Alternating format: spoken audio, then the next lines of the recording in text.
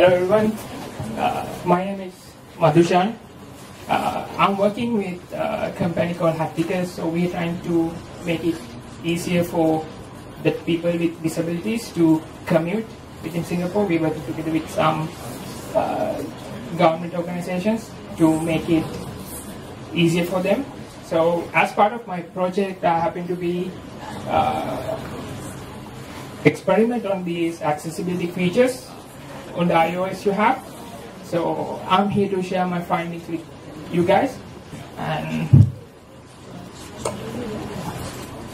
uh, so this talk, uh, I will go by two main topics. One is the what is, what does it mean by accessibility for the iOS ecosystem, and next uh, we I'm trying to look in at uh, how to make your apps accessible. So for that, I will take two existing GitHub uh, repos and which are not much accessible, and we will see how to make it more accessible to the, especially for voiceover users. I think, I, I mean, accessibility is a wide subject, so I had to choose one area or one or two areas and uh, see how we can improve our apps in those two areas.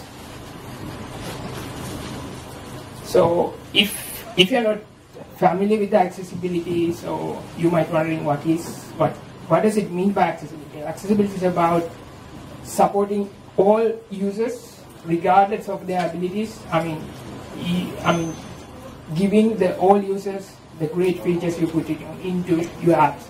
So regardless of their disabilities or whatever disabilities they're having, right? So, and I should say from the very early iOS versions, Apple has been supporting these accessibility features really well.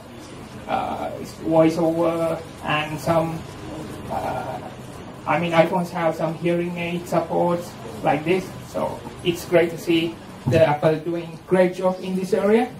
So so as developers, we should aware that these kind set of features uh, you have the users having their devices. For example, this one is the the invert color mode in the iOS. So I mean, if any user have some difficulty in differentiating colors, so they need higher contrast contrast ratio than the normal users. So they might enable these modes. So you should aware that I mean there are significant number of users that might enable these modes. why the, the, the grayscale mode, right? So the message with grayscale mode and this, uh, the one I showed earlier is that uh, the color shouldn't be alone represent any state of the. I mean, if, if you're using just color to represent something, so what if the user is colorblind, right? So for those users, they don't see any difference. So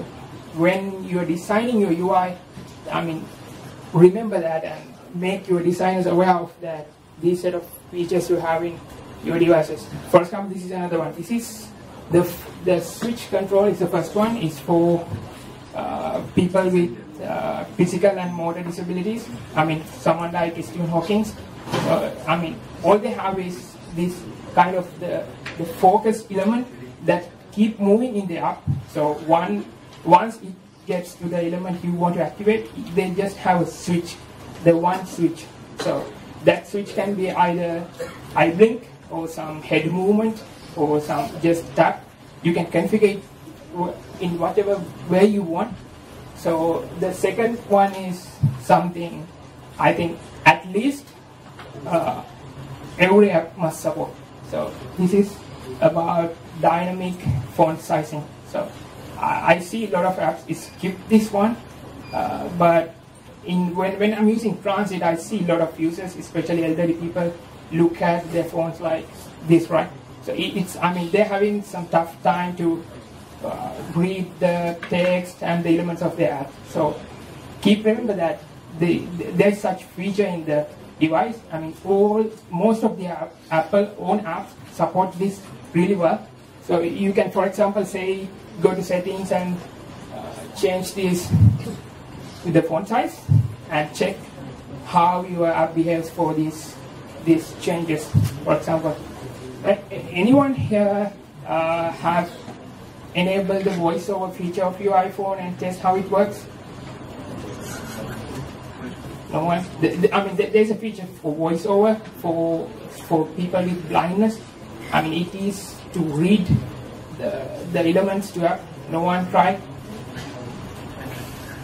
No one. Right. So earlier I mentioned that the, the, the configurations users can make to their devices to adjust the device to their, their requirement. But in, in your case, if, if you still want to have that the, the animation reach and the great UI you, you create, but you can use this API to check whether the, the user is enabled this one of these settings. And I mean, you can adjust your UI based on the current configurations of the device. I mean, average, I would say, I mean, don't, I mean, this is kind of the designing level thing, but don't make apps, I mean, much fancier with the unnecessary animations. Make it simple, right? Have something for I mean, nice interaction, but don't make use of them uh, mean, without any purpose, right? Think about these people when you're developing apps right? So I, am going to take a few examples. So how well these apps support the uh, these accessibility features, right? So this is the first one. So I hate to bring this one because they they they have improved this app from the previous version a lot. But in terms of accessibility, let's see how well it works.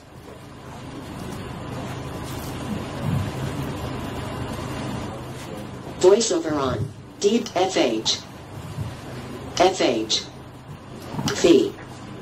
FJ. Login. ATM and branch. Markets. Button. Insights. Button. Promotion. Button. Online account opening. DBS Marina Regatta. FH. FH. FH. FH. Apple Pay. Right? You, you get the point, right? I mean, they, are not doing good job in terms of accessibility. I mean, as a banking app, as a prominent banking app, I would expect they should they shouldn't ignore the I mean the blind people, right? They they might have bank accounts that in the I mean this is one of the I mean I think for sure they're using some cross-platform thing. That's why the buttons are figuring like FX, FX, FX, right? So if you're using the native control. So you have these accessibility features for free, right? I mean, just if you're using a button and you, your button have a name, the, this accessibility speak this name to you automatically. So why this one is not doing such good job is I mean they're, they're not using the native buttons. Especially the, for example, say they have some segmented control to to pick a segment but at least the, when, when you're navigating, the, the segment should say which element is highlighted, but this one not saying that. I mean, user doesn't know which one is highlighted, either promotion or banking, whatever, right? And thing, uh, the second thing I noticed is once you bring this the the slider menu UI, so it's still speaking the elements in the behind, right? That's a problem. So uh, yeah, I'm going to take another application and see how it how it works. So, so from can we use the Grab app?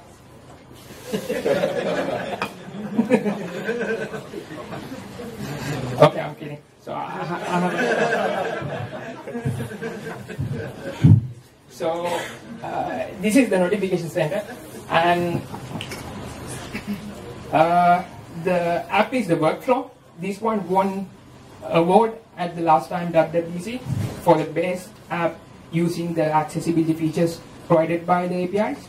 So I picked the notification system rather than app also doing really good job regardless of the accessibility. But here I will show you one thing that they're doing awesome. The this is the workflow app is that you can aggregate certain tasks into one uh, one action and you can execute it. For example, the first one, the share location, it will, what it will do is it will fetch my current location and get the URL from the Apple Maps to that location and send it to a pre-configured email. For example, say I'm a bli- if I'm a blind user, that is really helpful.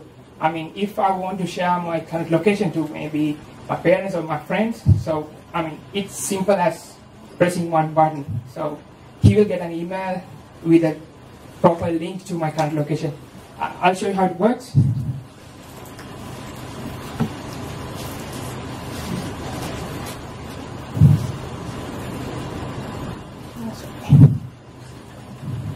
Wednesday, workflow.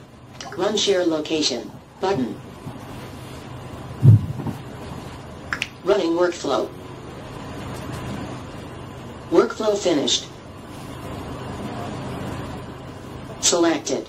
Bus 966. Saint. Andrew JNRSTH. Bus stop number 60081 at JLN Toateo.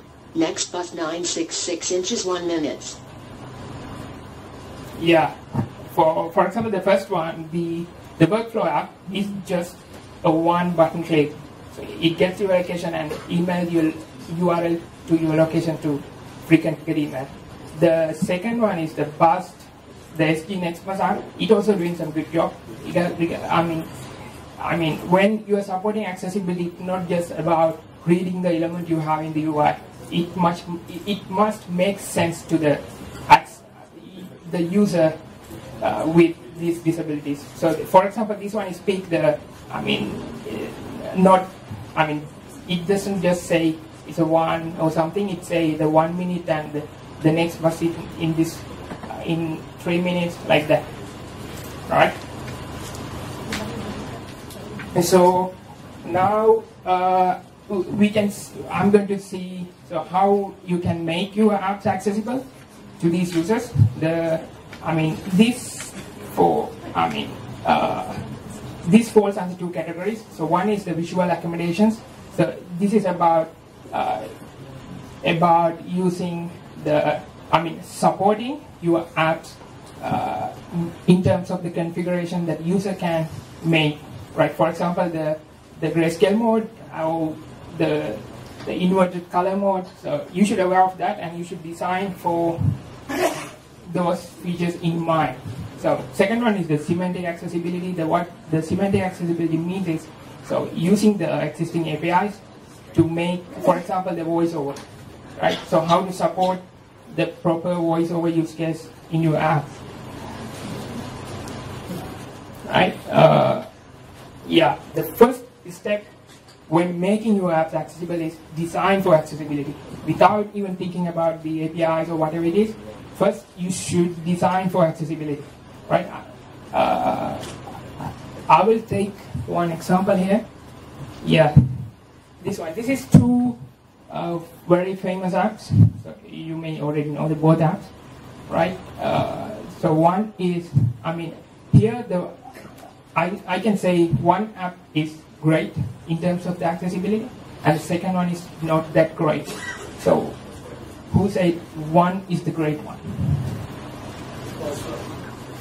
First one. Okay, so what others say the second? Right. I, I'll show you what's the difference. So, assume if you are colorblind, this is what you see.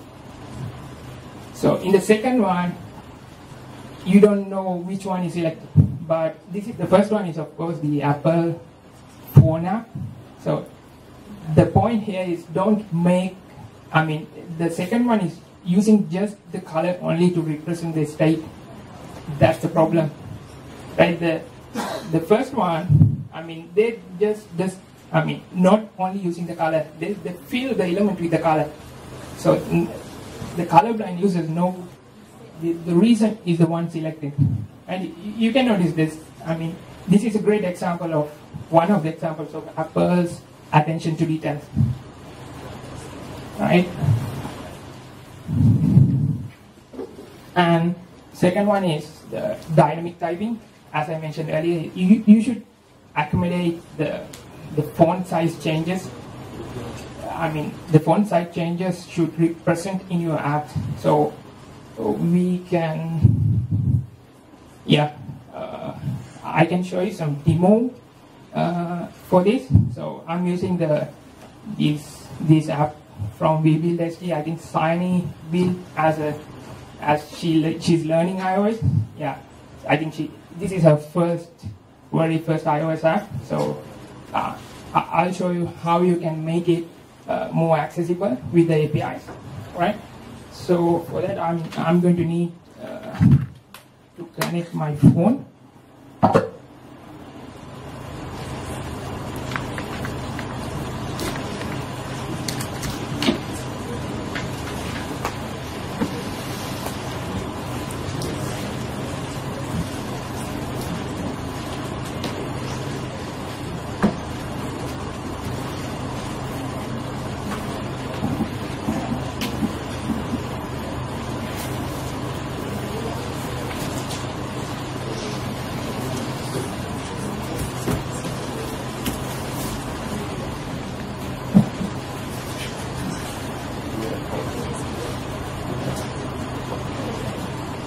Oh, sorry. Hey, so it's correct, it's correct. It's Huh? It's correct, correct. It's correct, correct. It's correct.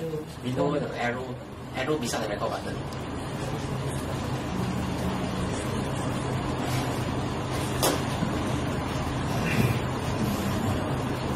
Okay, time. So, yeah, this is this app just show uh, the the events happening in Singapore in next two days, and also it has uh, it, it showed some famous, I mean, the popular GitHub repos related to Singapore. So it's a very simple app. So that's why I choose to. It's easy to explain using this app to how to make it. Uh, how to make dynamic typing works with this app. So if I go and change the so this is where you can see the accessibility features. And go accessibility I select the larger text. I I increase the font size. You can see the Apple apps they dynamically change the font size when I adjusting the font. So if I go to this app it, it doesn't change the font size right? So i- in, i mean it doesn't support accessibility. So i'm going to show you how to make it uh, support this uh, dynamic typing.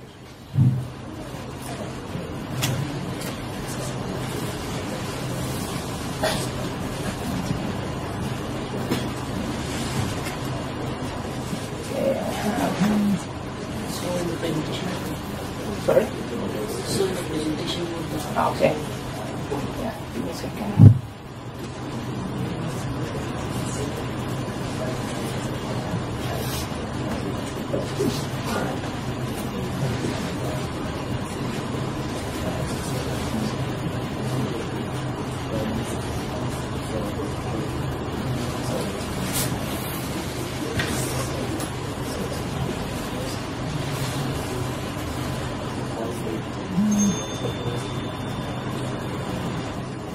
Okay, so I mean this is the uh, list view controller. So the controller controlling the, the list view seeing.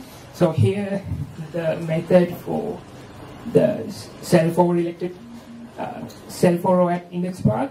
So here uh, I mean this is the two lines I made to the font adjustment work when I adjusting the font. I mean, rather than using the static fonts, Apple has its own set of the font styles you can use, right? If you're using the these font styles, it will automatically change. But you should remember to add this. Uh, here in uh, in the viewDidLoad, you should listen to this notification, right? This one. UI content size category did change notification. If, if you did, didn't listen to this, you have to wait until the next app launch to adjust the font. So if you listen to this notification and call the reload table once this notification is sent, so then you get the, I mean, automatic, it, it should automatically adjust the font size, right? So I run it.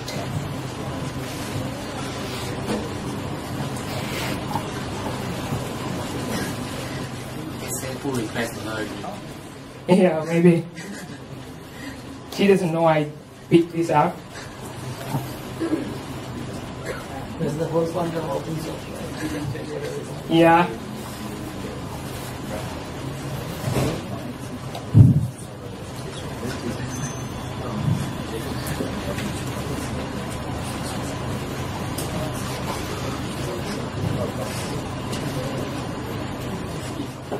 So, as you can see, the sorry, this is the new UI. Sorry, the label size and the the, the date label size get adjusted to the the the font size user is adjusting. I mean, this is great in iOS 8 because they have this now now the dynamic cell height thing. I mean, you don't need to manually calculate the the required font size. If you use auto layout properly, you will get this for free. You just need to use the font styles instead of the static fonts. So that's the point. So I'm going to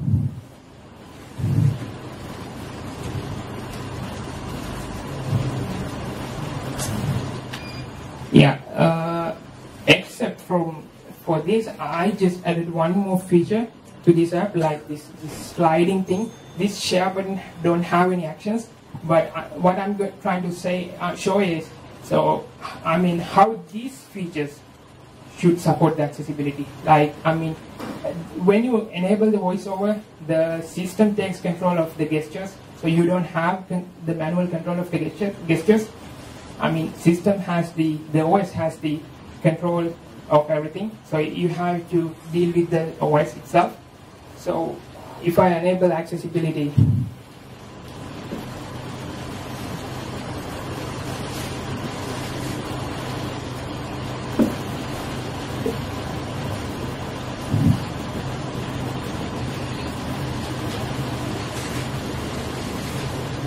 I think I do.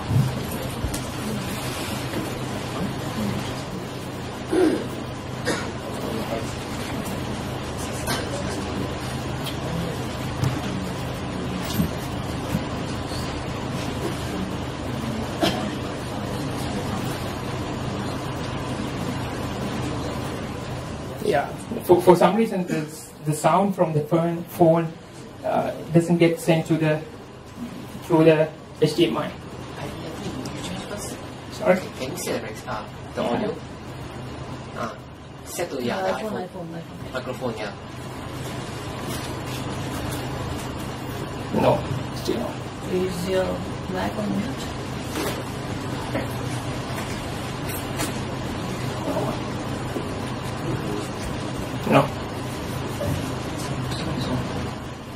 Okay, I, I- I'll skip that part. So here, one more thing I have to say. So this is uh, the accessibility has some the something called accessibility traits.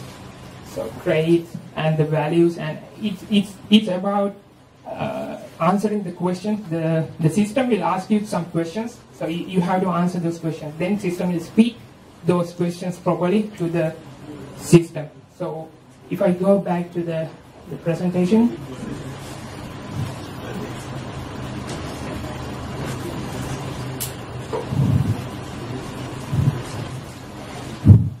So, uh, so we are moving to the UI accessibility and the voiceover. UI accessibility is an informal protocol, yeah, which is in Swift is a the extension of the NS object, and if you're talking about the object, you see it's a category for the NS object. So every NS object has these capabilities of the accessibility.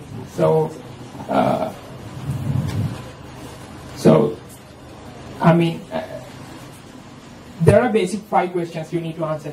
So, so uh, I'll show you what are the, those five questions, and for as example, I take one component. This is from the Apple's own settings app. Let's say how the system deal with this particular component in terms of the voiceover. Noise cancellation left right stereo balance. 50% left, 50% right. Adjustable. Swipe up or down with one finger to adjust the value.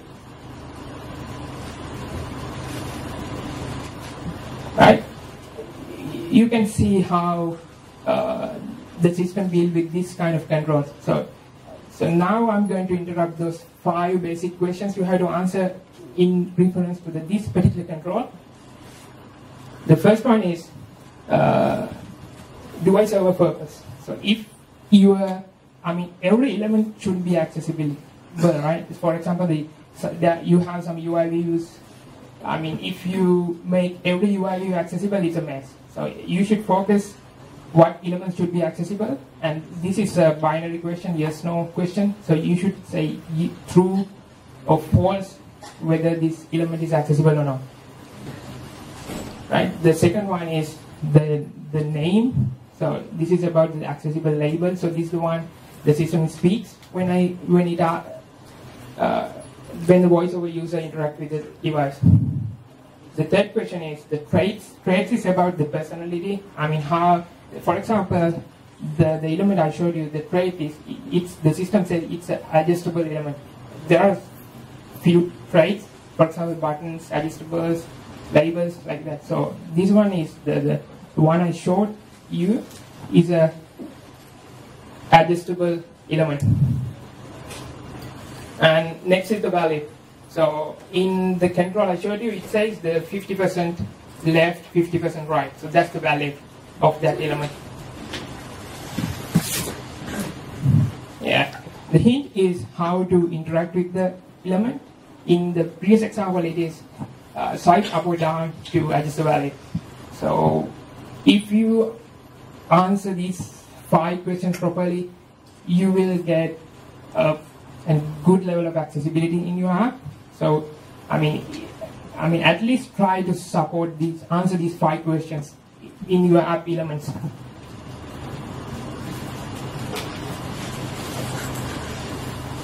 Right? Okay. This is the uh, the last demo we have. It's a it's a chart control. So, uh, uh, it is. I mean, I'll show you the app.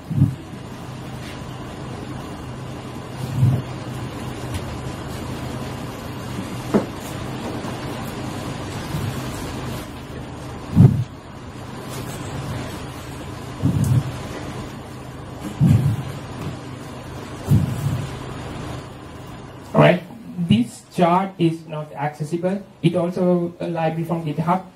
I think it's a famous charting library. Uh, how many stars in the GitHub? So this, the problem with this chart is it's it's it's rendered in the UIView, right? It's uh, I'll explain a little bit how it works.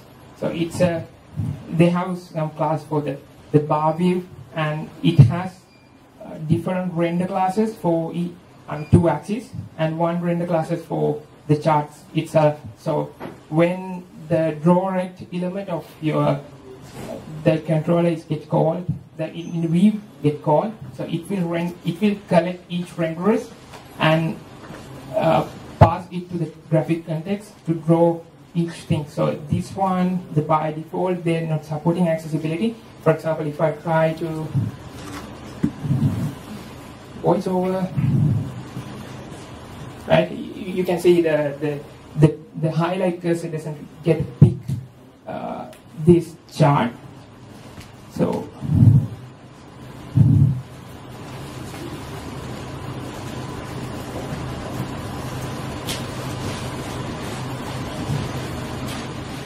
yeah, this is a project and I will quickly go through it. This is the render classes for the bar, bar chart. Here, what I'm doing is, so while it is rendering, I'm collecting the required information for the accessibility here and I assign it to an array called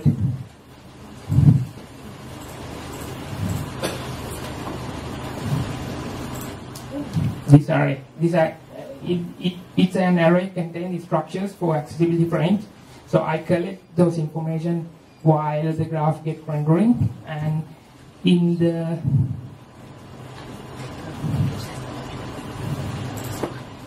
in the base class of the bar chart I have a method for set set up accessibility. This has, uh, I mean, then here I'm collecting, uh, I'm iterating that array, and i- in the in the graph view you have you can assign something called accessibility element. It's an array. So once you set everything. I mean, you can collect elements inside a view. It's as a children of the view. So you, you get those elements and set the value, and you answer those. Basically, you answer that five questions: the traits, value, label, those things, and then assign to this array called accessibility element. So make note that in this array, uh, before assigning the elements, I also attach the the the parent view because if I didn't attach the parent view, it will just quickly jump through the the bars of the chart instead of the total graph. Right? I'll show you how it works.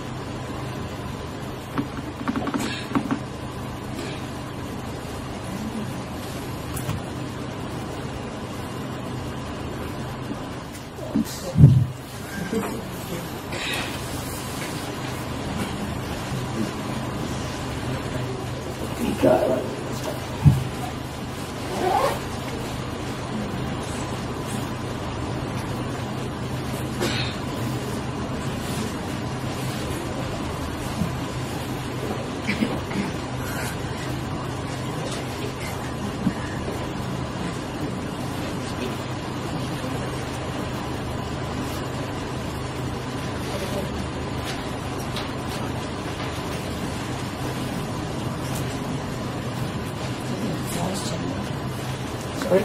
It's running right on the. Let's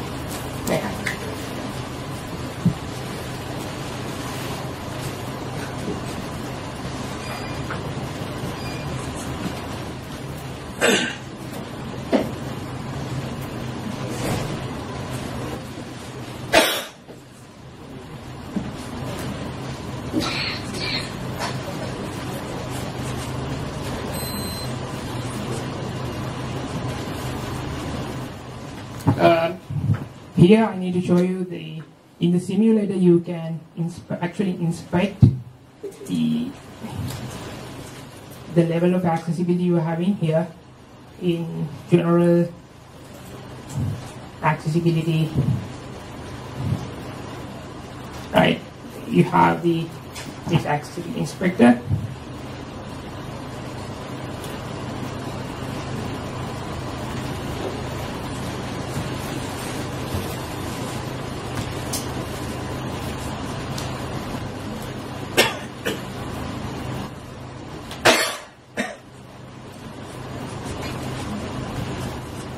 right? Yeah, you can see. Uh, I mean, this is the way you can see the accessibility in the simulator. There's no voiceover support for the simulator.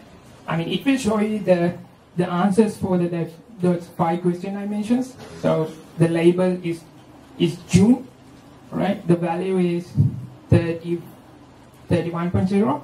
The frame is this, and uh, it will show you how the voiceover will interact this element when you run on actual device, right? So here, uh, the takeaway should be when you are making these kind of graphs accessible, don't only only make the frame for the element.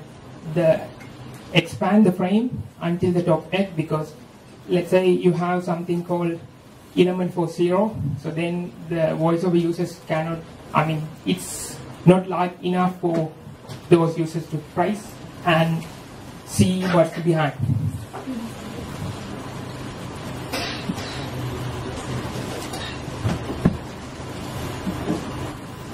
Yeah, anyway, I'll push this code to the GitHub. So any question you can tweet at me or ask in the group. Yeah, so what's going to be the future for this accessibility? Right, so it's rumored that Siri API is on the way. I'm not sure. You guys, anyone going WWDC this time? Till it. Till it. Yeah, okay. Few people. Yeah, if you happen to, as a, as a American, if you happen to bump into an engineer from the accessibility team, just please ask this, how Siri will help to make apps accessible. I mean, instead of having Siri at one location, so if, if Siri can interact instead of the voiceover, it can do many more things, right? Uh, and second thing is a home personal assistant. You can see the, the Google also introduced something for Amazon Alexa, and we may see something like, "Hey Siri, do this, do this in your home." So, if if the Siri API is coming out, it, it would be great for accessible people because then all you can support uh, your apps to interact with just voice. Right? So, okay, as the final slide, so the takeaways should be the user base is diverse and the users are aging. So, keep remember, keep in mind that these users are exist. Then, that in, in number, they're not insignificant. There are a lot of users with disability. Support them and invest some time for them. I mean, so if, if you support accessibility, as I said, it will wide, it will widen the, the user base. I mean, wide user base means more users will have access to your apps, and that means more users will use your apps, right? And also the accessibility is something low effort, high reward thing, right? You can say if you answer those five questions mainly, we'll get a lot of accessible features. Okay, any questions? Do you have like any statistics to share, like how many of the iPhone users are blind or Uh, yeah, sorry, I don't have it at the moment, but uh, I can say in numbers I can remember, but I, I can share some links. But I recently surveyed that the how many users affected with color blindness. There are a lot. It's like four percent of the population or something like that. I mean, it's not just about the they don't see the black and white, but they have some users have defi- deficiency in seeing the particular colors. For example, they cannot see blue color properly. So there are a lot. Around four percent of the entire population are affected with uh, some kind of color blindness, for example. Any more questions? For the accessibility voiceover feature, Yeah. can we use it for non-English? Yeah, you can. So that means it will automatically speak in language. Uh, no, in, in your apps, you have to use the localization properly. Yeah, I mean, don't just put the, the static text, but put it as the localized screen. So then, it based on the language you you choose in the setting, it will speak in the language. Yeah. Yeah. Uh, it's not a question. Uh, I want to share my experience as related, that's slightly related to accessibility. Okay. Uh, as a developers, we tend to use uh, labels and add gestures on top, and tap gestures, something related to Yeah. that. So, as an accessibility user, if you add a tap gesture to a label, Yeah. your label, if you add a tap gesture dynamically in your code, Yeah. uh, it doesn't make any uh, difference as per a normal user. Uh, you can still tap on that and you can still show some, you can some, perform some action on that.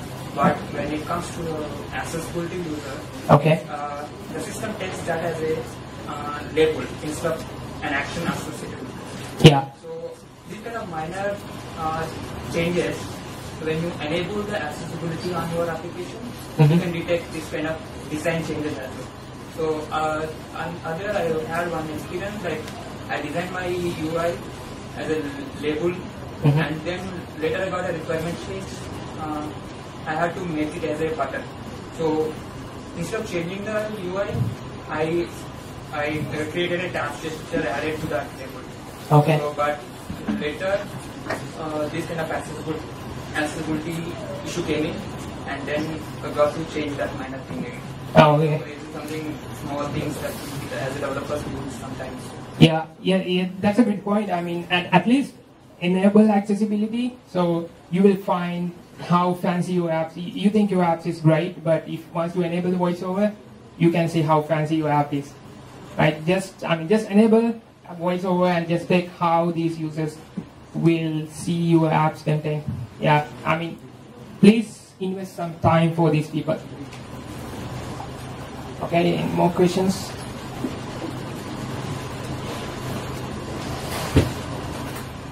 Okay, we can close. I think uh, I- I'll put that code in the GitHub or something. Any question you can tweet at me. Thank you very much.